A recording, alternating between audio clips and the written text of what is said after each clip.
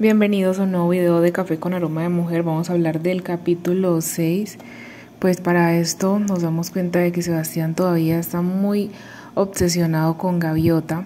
Pues este habla con Arthur y le dice que no le presente más mujeres porque la única que le interesa es Gaviota.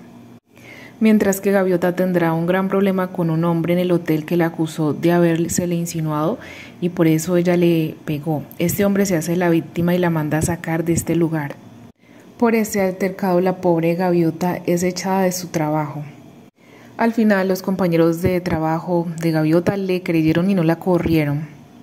Mientras a Lucía Margarita le comenta de que Aurelio le dijo que su esposo no volvería a buscar más a la gaviota y que al parecer ya se resignó a olvidarla.